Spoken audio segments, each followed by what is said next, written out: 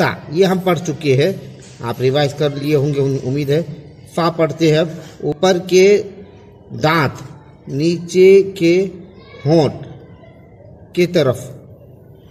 तर हिस्सा, नीचे के होंठ के तर हिस्सा को लगाने से निकलते हैं। जैसे अफ।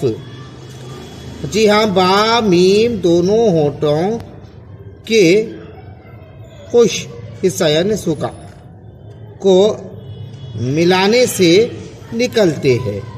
जैसे अब अम इस तरह आप प्रैक्टिस करें, इंशाल्लाह उम्मीद है अच्छी तरह आप मखरज सीख सकते हैं। और वह दोनों होठों को गोल करके आगे बढ़ाने से निकलते हैं। जैसे आओ, जी हाँ मीम और नून, गुन्ना और इख्फा की हालत में नाक के बासे से निकालते हैं। जैसे अन अम।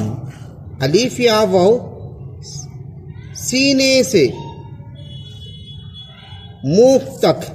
जी हाँ सीने से मुँह तक के खाली हिस्से से तीन हरूफ मद्दा, यानी तीन जो हरूफ मद्दा है, वहाँ से ये और फदा होती जैसे हा, ही तो यहाँ पर मखरज ही की आवाज़ आना ही, नू, इस तरह। जी हाँ ये मखारिज यहाँ पर ख़त्म हो जाते हैं असबाख जो थे अभी तक के।